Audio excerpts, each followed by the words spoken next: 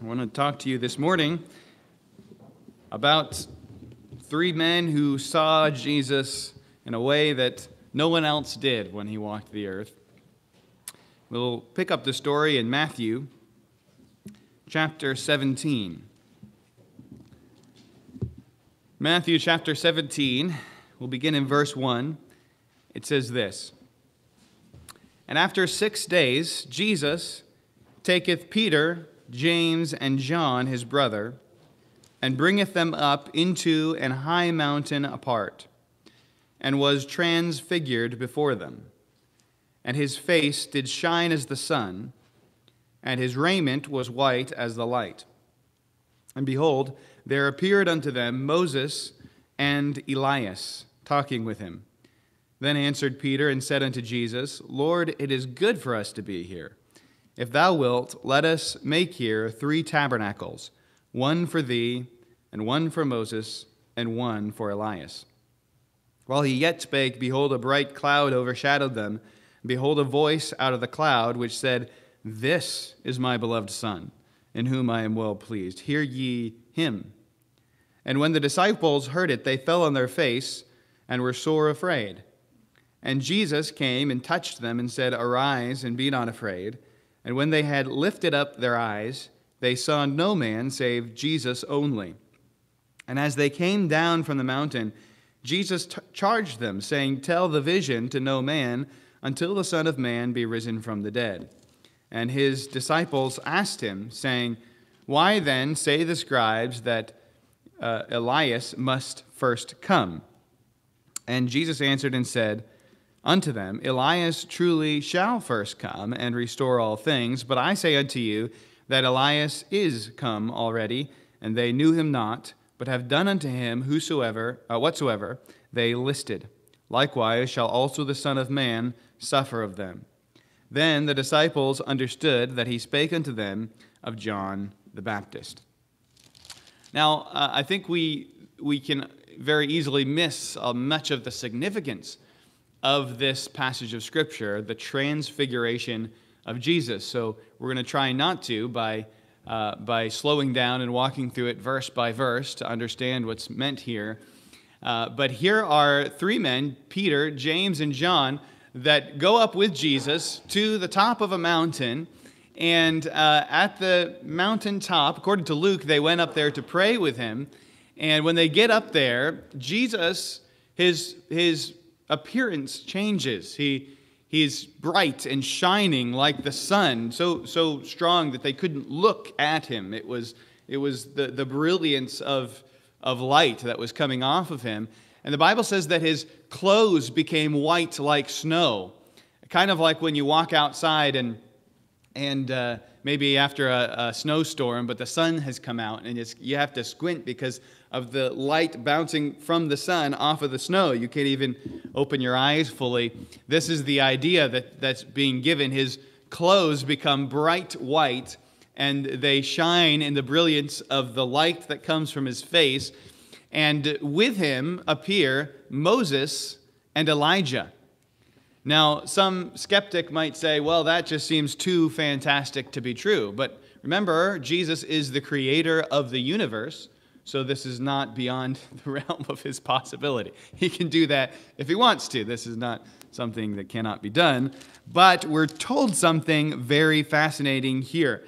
Uh, let's begin in verse 1 and let's find some things that ask some questions about it and find what is significant here. Notice it says, And after six days, Jesus taketh Peter, James, and John. The after six days is going to be very important in just a moment, but let's hang on to that for a minute. And let's ask the question why in the world does Jesus take only Peter, James, and John? These are three of his 12 apostles, his 12 disciples. Why didn't he bring all of them up the mountain? Why did he bring Peter, James, and John? Now, actually, this is not something, this is not the first time that Jesus only brought Peter, James, and John to do something for him. He brings only Peter, James, and John to come with him into the house of Jairus to uh, when he's going to raise his daughter, uh, Jairus' daughter, from the dead. Uh, he brings only Peter, James, and John in for that. When they go to the Garden of Gethsemane and Jesus is praying, he brings Peter, James, and John a little further into the garden, closer to where he's praying. And, you know, you have to ask the question what in the world? Why Peter, James, and John? It seems like of all the apostles, they would be the worst ones to choose. Peter's the one who's always sticking his foot in his mouth and doing some, making some foolish statements. And James and John were known as the thun- sons of thunder. They, uh, they like to, they were fiery individuals. They came up to Jesus one time and said, Hey, Lord, you know, these people are rejecting you. Will you just, you know, bring fire down from heaven and just destroy them, you know? And Jesus said, No, we're not going to do that. uh, so you, you would think that Peter, James, and John would be the last ones. That would be the three that Jesus chose to, you know, separate from the others. And I think maybe that's why Jesus chose Peter, James, and John. maybe they needed a little bit more work than the rest of the, of the apostles, you know? They needed a little bit more attention. Um, but it's a beautiful picture because, of course, Jesus chose 12 apostles as a picture of the 12 tribes of Israel, the 12 sons of Jacob. This was all a beautiful picture that he was starting a new idea of what God's people were. God's people are, are going to be the church. And he was doing that by starting with a 12, the same way as God's people in the Old Testament started with the number 12, the 12 sons of Jacob. And remember the 12 sons of Jacob? There's three sons out of the 12 sons of Jacob that sort of stand out for just, you know, the worst reasons, but end up becoming very significant. They are Judah and Levi and Joseph. Now, Judah is a terrible guy. I mean, this man, uh, you know, commits, you know, acts that shouldn't be committed with his daughter in law, thinking that she's a prostitute, which doesn't make it any better, okay? And, uh, and yet, God uses him.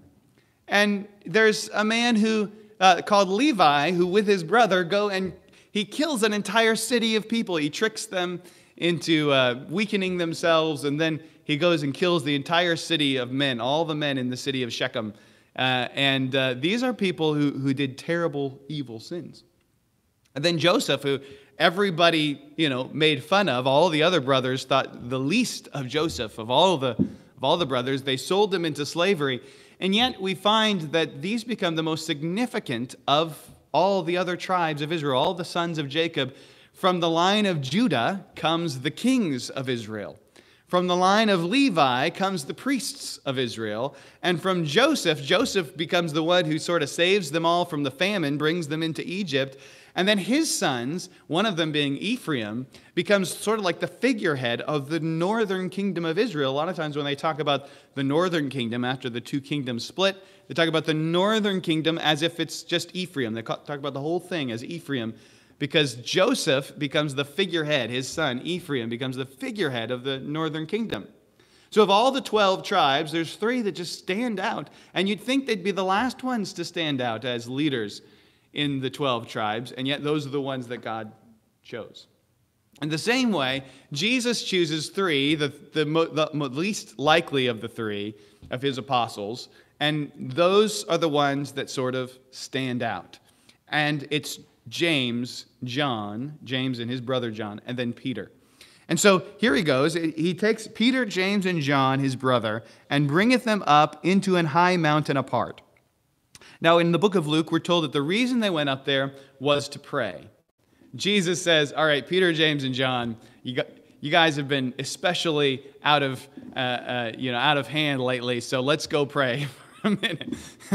and he brings them apart and he, uh, to pray on, the, on this mountain, but he has something special in mind beyond prayer. It says, verse 2 And he was and was transfigured before them. Now, pay close attention to how, it's, how he's described. His face did shine as the sun, and his raiment was white as the light. Now, this is, this is a really important description. If you'll turn with me to the book of Revelation, one of these three apostles was going to see Jesus like this again later in his life. Uh, G- they, these three, Peter, James, and John, after Jesus died on the cross and rose from the dead, would later live much longer after Jesus ascended into heaven. And John was the last to die. As a matter of fact, it's interesting. James was the first of all the apostles to be killed for the cause of Christ. And John was the last of all the apostles to be killed for the cause of Christ, to die for Christ. Uh, and here we go, the book of Revelation, chapter 1. Uh, we can begin reading in verse 9. It says, I, John, who also am your brother and companion in tribulation and in the kingdom and patience of Jesus Christ, was in the isle that is called Patmos for the word of God and for the testimony of Jesus Christ. This is later in John's life. John was sentenced to death for, uh, for preaching the gospel of Christ.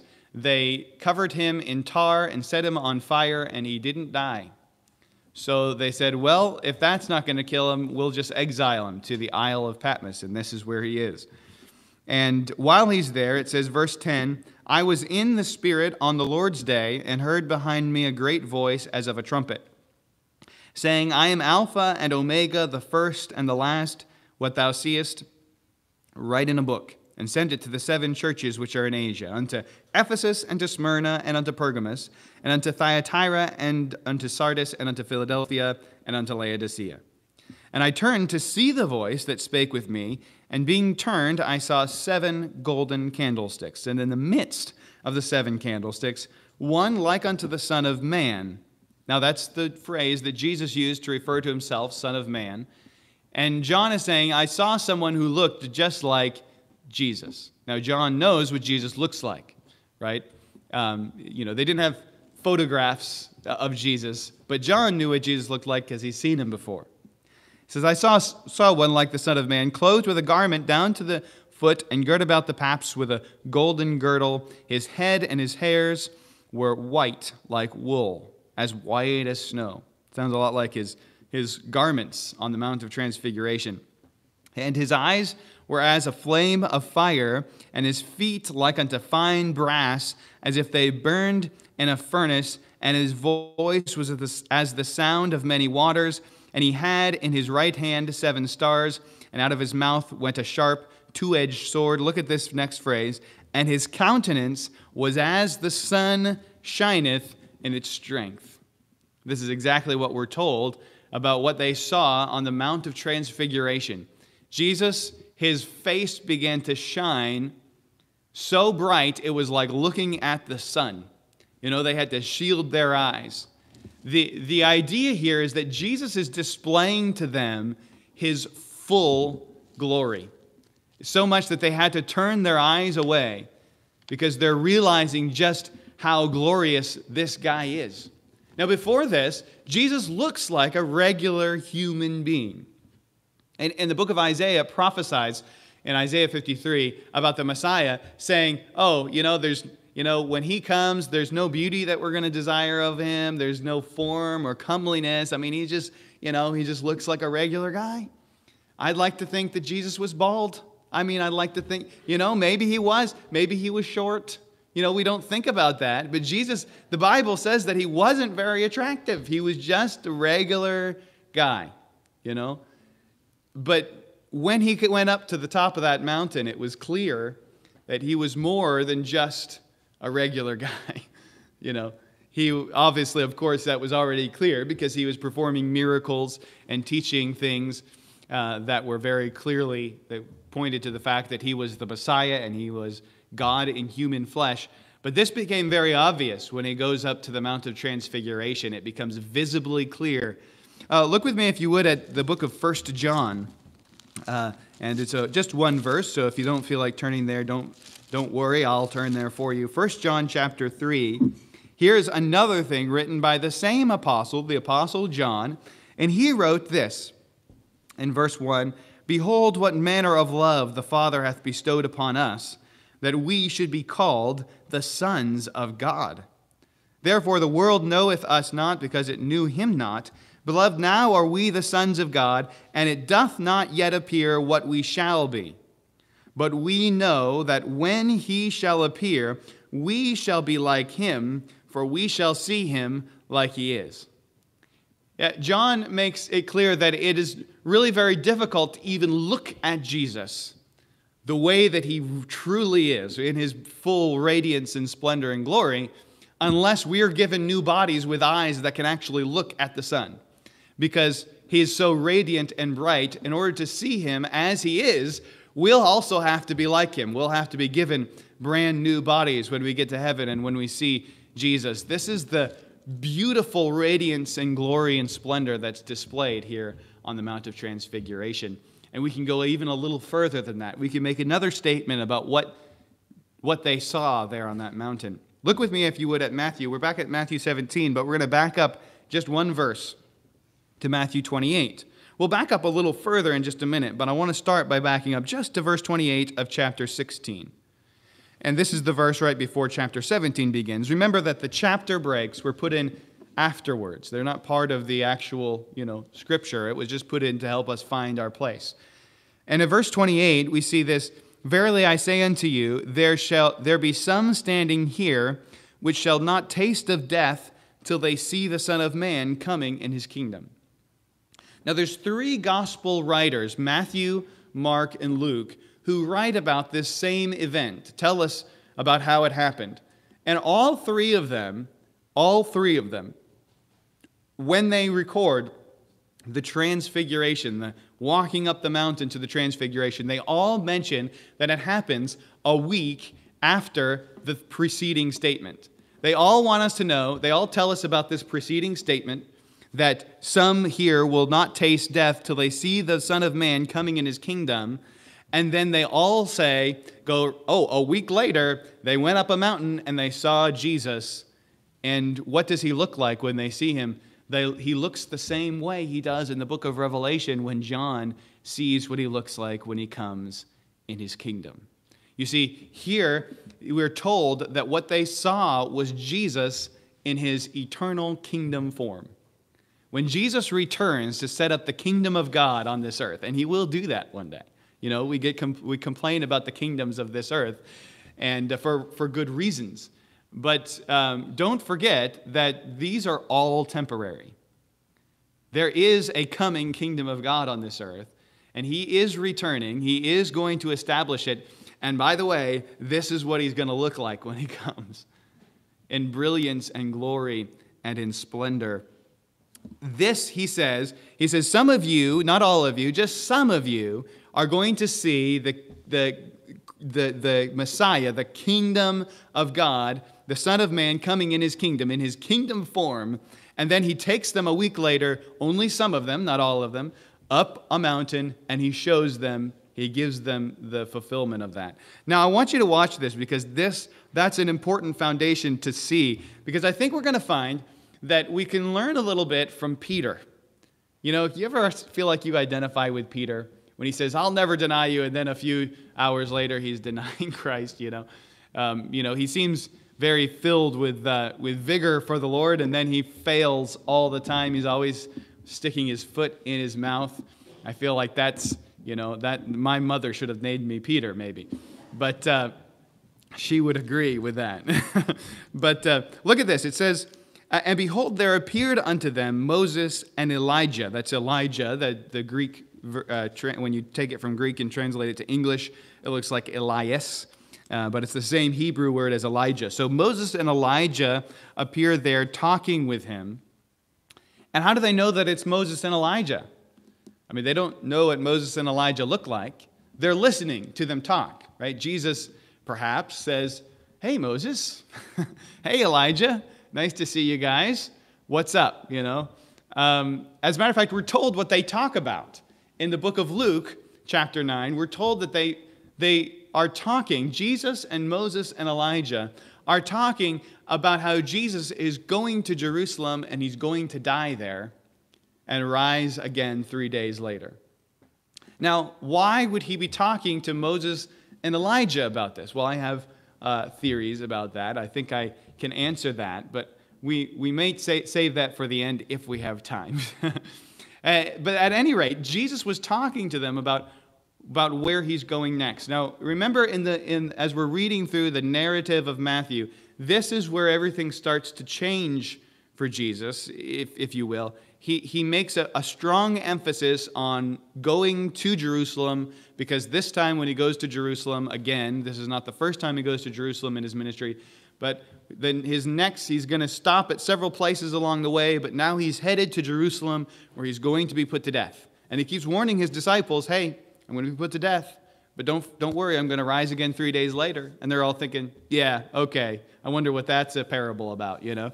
No, no, like, really, I'm going to die and I'm going to rise again three days later. Okay, Lord, all right.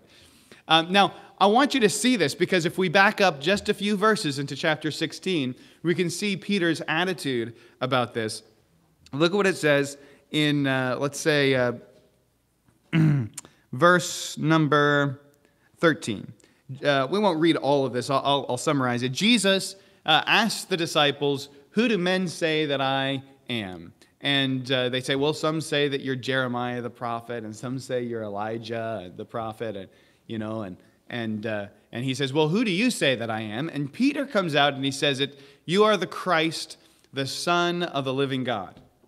You're the Christ. You are the Messiah. You are the anointed one who's going to bring in the kingdom of God. Now, they should all have known that, but Peter was bold enough to say it. Kudos to him. He, boldness was never really a problem of Peter's. um, Jesus says to him, Blessed art thou, Simon, the son of Jonah, because your, your flesh and your blood, meaning your heritage, hasn't showed this to you, um, but that was revealed to you by the Father. That's true. Nobody can say Jesus is the Messiah, he's the Son of God, um, because you know, because of their, you know, pedigree or because of some good that's within them. It's all because God leads us to that conclusion. So it's a wonderful thing. He's saying this does no credit to you, Peter, by the way. He says, You're Peter, which is a name, which is a word that that Jesus used as a name for Peter. It's a word that means little stone. And, it, uh, and he says, You're Peter, this little stone, but I'm going to use you. And uh, actually, we find out later he's going to use all the apostles as the foundation of his church. We see this in the book of Revelation, chapter 21, where the new Jerusalem descends from God out of heaven. It's a picture of the bride, meaning the bride of Christ, God's people, and the foundation stones of the city are, have names on them, and they're the 12 names of the 12 uh, apostles of Jesus Christ uh, you see, Jesus was using them as the beginning of his church, all 12 of them. And so he say, makes this statement to Peter you're, you're just this little stone, you're Peter, but I'm going to build my church, starting with you 12. And, uh, and, and he says this he says, verse 19, and I will give unto thee the keys of the kingdom of heaven. And whatsoever thou shalt bind on earth shall be bound in heaven, and whatsoever thou shalt loose on earth shall be loosed in heaven. Now, a lot of people have argued over what this is, what the keys of the kingdom of heaven are.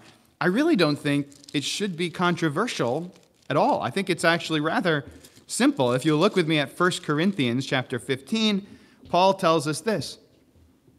Verse 1 Moreover, brethren, I declare unto you the gospel which I preached unto you, which ye have, uh, which also ye have received, and wherein ye stand, by which also ye are saved.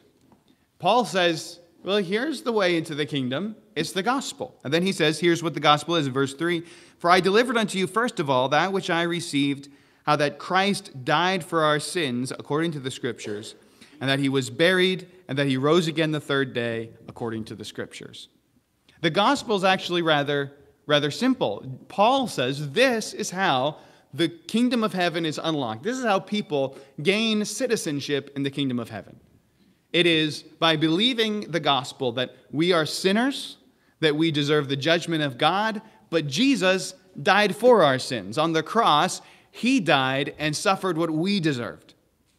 And so he died, was buried, he rose again to prove that he was who he said he was. And now we just turn to him and say, Yes, Yes, I want you to be the Lord of my life because me living for myself is headed towards the judgment of God, and turning to Christ in repentance and faith is the key to the kingdom of heaven. And so here we go. He says, he says to Peter, I'm going to give you the keys to the kingdom of heaven, meaning I'm going to give you the gospel. And then he says, Whatever you bind on earth will be bound in heaven, and whatever you loose on earth will be loosed in heaven. He's now putting the onus on Peter. He says, I'm giving you the key to unlock the gate to the kingdom, as it will, uh, uh, if you will. And then he says, But if you don't unlock it, if you don't give people the gospel, if you don't tell them the truth about how they can be part of the kingdom of heaven by believing the gospel and repenting of their sins, well, then you're actually, you're not just not unlocking the door, you're actually binding them up and keeping them from getting there because they don't know how to get there. So he says, not only do you have to unlock the door, but if you don't unlock the door, you've locked them up. You've, in a, in a sense, you've taken them and you've bound them up so they can't go. Your job now is, uh, Peter, is to give the gospel to others. And now, he says, I'm going to give you the keys of the kingdom of heaven. Now look at the next few verses. Um, verse 21 From that time forth began Jesus to show unto his disciples how that he must go unto Jerusalem and suffer many things of the elders and the chief priests and scribes and be killed and be raised again the third day. What did Paul say is the keys to the kingdom? The, the way to enter into the kingdom of God, to be saved, it is the gospel. And he said, What's the gospel? That Christ died for your sins according to the scripture, he was buried, and he rose again the third day according to the scripture. Jesus says, I'm going to give you the keys to the kingdom of heaven. And then he says, Now let me explain. I'm going to Jerusalem, I'm going to die, and I'm going to rise again the third day. He's giving them the keys, he's giving them the gospel. And what does Peter say in response when Jesus gives him the key? Verse 22 then Peter took him and began to rebuke him, saying, Be it far from thee, Lord, this shall not be unto thee. Peter says, No, you're not going to die. And Jesus is saying, I'm giving you the keys to the kingdom of heaven. This is the gospel. This is God's plan for the redemption of mankind. I'm going to die for their sins, and then if they believe and repent, they have salvation. It's that simple. And Peter says, No, no. Great job, Peter. You already missed the keys to the kingdom. Verse 23 Jesus says to Peter, He turned and said unto Peter, Get thee behind me, Satan. Thou art an offense unto me, for thou savorest not the things that be of God. He said, No, this is of God, Peter. You, you don't see how it could be of God, but it is. It's, my, it's the plan, it's my plan. Thou savorest not the things that be of God, but those that be of men. Then said Jesus unto his disciples, If any man will come after me, let him deny himself, take up his cross, and follow me. He says, Listen, it's not going to be the way that you want it to be. If you're going to follow me, you've got to be willing to die. You've got to take up your cross. That was like saying, you know, march over to your electric chair. You know, uh, this is a, an instrument of death, right? He says, Take up your cross and follow me. For whosoever will save his life shall lose it, and whosoever shall will lose his life for my sake shall find it. For what is a man profited if he shall gain the whole world and lose his own soul? Or what shall a man give in exchange for his soul? For the Son of Man shall come in his glory and of his Father with his angels, and when he and then he shall reward every man according to his works. Verily I say unto you, there be some standing here which shall not taste of death till they see the, king, the Son of Man coming in his kingdom. He says, When I come, when I come back again, that's when things get good for you. Before then, you have to be willing to die for me. I'm not promising you that everything's good, and you shouldn't expect that the Messiah is here to, you know, to live a comfortable life. The Messiah was there the first time, Jesus, to die. He comes the second time to rule and to reign. We're not here in this life to rule and to reign and to have all the comforts and pleasures of this life. We're here to live for Him, to share the gospel so that others can be part of the kingdom, and then we get to enjoy the kingdom one day. That's, that's the wonderful thing that's waiting for us. And so Peter, Peter slips up, right? He messes up badly. Jesus says, I'm going to give you the keys to the kingdom. He turns around and gives him the keys, and, and Peter says, No. And then he says, Hey, some of you are going to see the Son of Man coming in his glory uh, before you die. And now he sees the Son of Man coming in his glory before he dies on the top of the mountain. Jesus is transfigured, his face is shining like the sun. And look at what Peter says. Verse 4 Then answered Peter and said unto Jesus, Lord, it is good for us to be here. You can tell that Peter doesn't know what to say. As a matter of fact, in Mark and Luke, when they record this account, they say, For he knew not what to say. he says, Oh, this is a wonderful thing, Lord. Um, okay, yeah, it's good. If thou wilt, let us make here three tabernacles one for thee, and one for Moses, and one for Elijah. You know, here's the thing, and maybe this is a good, good little side lesson for all of us Peters out there. Sometimes when you just don't know what to say, you shouldn't say anything at all. You know, I think that's a, just a good rule of thumb, and I'm working on it myself. But uh, here is now now Moses and Elijah. There's no reason for us to think that they they were faces were shining or that they were brilliant or anything like this. They were just two guys, and they knew they were Moses and Elijah because Jesus was talking to them, right? Um, but here Peter is like, oh, let's build three tabernacles. One for you, of course, uh, but we'll also build a tabernacle for Moses and a tabernacle for Elijah, and let's just honor all three of these, these people as if they were all equal. But, but they're not. I mean, Jesus is revealing his glory and his splendor in front of, in front of Peter, and Peter, Peter, you know, lets, lets his tongue a little bit looser than it should be. And it says, so in response, the heavenly Father speaks. It says, verse 5, while he yet spake, while, while Peter is speaking and saying, hey, let's, let's build tabernacles for all three of you. While he spake, behold, a bright cloud overshadowed them, and behold, a voice out of the cloud which said, This is my beloved Son, in whom I am well pleased. Hear ye him. Meaning, forget about Moses and Elijah.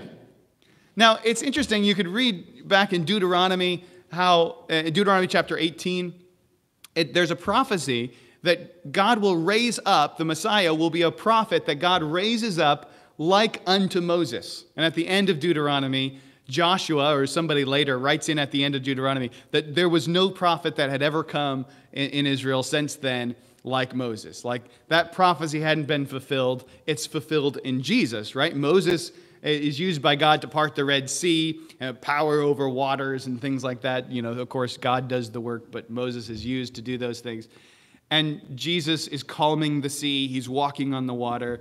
Uh, Moses is used by God to bring, you know, manna down from heaven to feed the people. Jesus feeds 5,000 and, and, produces miraculous bread. Uh, Jesus is showing throughout his ministry that he is the fulfillment of that prophecy. You see, Moses was just a giant arrow that was pointing to Jesus. That's all Moses is. He was like a shadow of the real thing who's Jesus. Elijah was a great prophet. I mean, he did many, many mighty works, but nothing like Jesus. Elijah um, didn't heal the type the, the amount of people that jesus healed elijah didn't raise anybody from the dead the way that jesus raised people from the dead elijah didn't cast out demons the way jesus cast out demons you see all of these other all these other things in the Bible are meant to be giant, you know, flashing neon signs that, that give us a, a magnificent arrow that points us directly to Jesus. And Peter missed it. he missed the whole thing.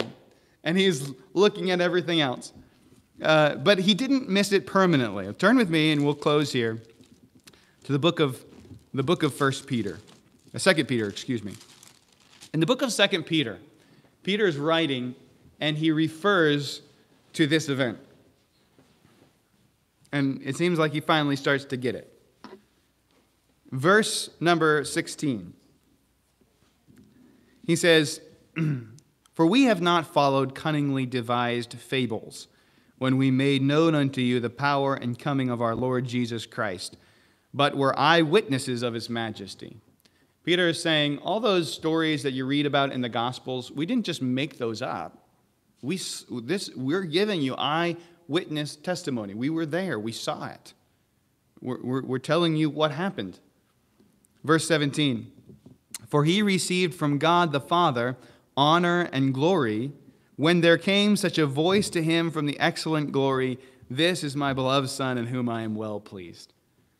Uh, Peter's talking about that moment when the God the Father in heaven interrupted his foolish ramblings in order to remind everyone that the glorious one who deserves the honor is Christ and Christ alone.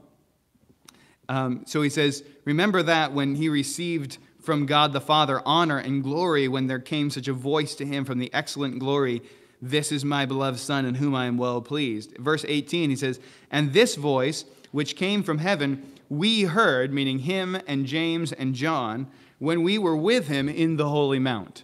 He says, I remember when I heard that voice saying, This is my beloved Son, in whom I am well pleased. I remember the glory of Jesus. I'm telling you what I saw with my eyes. Then he says, verse 19, we have also a more sure word of prophecy, whereunto ye do well that ye take heed, as unto a light that shineth in a dark place until the day dawn and the day star arise in your hearts. Knowing this first, that no prophecy of the Scripture is of any private interpretation, for the prophecy came not in old time by the will of man, but holy men of God spake as they were moved by the Holy Ghost. Essentially, what Peter's saying here is I saw Jesus with my own eyes. I can tell you what I saw. I heard it from heaven the de- declaration that he is the beloved son, that he is the son of God. I saw his glory. I saw it so so bright that I couldn't even remain looking at it. I fell down in fear and started saying things that made me look kind of foolish. I saw all of that. But he says, You have something even greater than my experience. And that is the, the testimony of the Word of God. He says, The holy men of old who wrote this down wrote it as they were moved by the Holy Spirit. Literally, when we open the Bible, we are reading the words of the Holy Spirit that He inspired the, the authors of the Bible to write. He, he, he, he inspired them to write it down, they wrote it down, and that's what we have when we open our Bibles and read it. Someone says, Man, I really wish that God would talk to me. I say, Read your Bible, because He does talk. He's actually not only has He spoken, but He's spoken and He's had it written down for us. And what does the whole Bible point us to?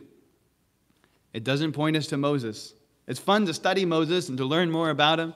It doesn't point us to Elijah. It's fun to study Elijah and learn more about him. It doesn't point us to Peter, although we've studied Peter today and learned a little bit more about him.